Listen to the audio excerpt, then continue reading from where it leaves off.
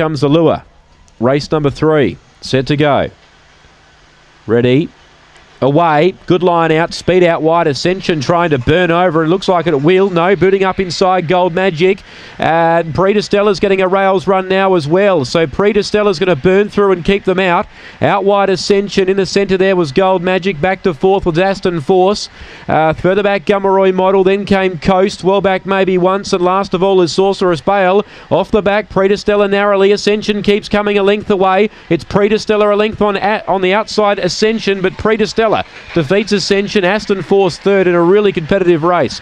Gold Magic fourth. Behind those, then we've got Coast maybe once. Last two in Gummeroy Model and Sorceress Bale. The four will win. Preta Stella, courtesy of a very, very lucky run on the inside the first time round. She was he was uh, just off the pace, and the leaders rolled off, and he got a lovely run through. And Lux of Fortune, he zipped through, took the lead. He was the best back runner in the race with UBet, and he's got the money. Eight second, Ascension. Tried hard, nearly got over. It was the second best back runner at the odds.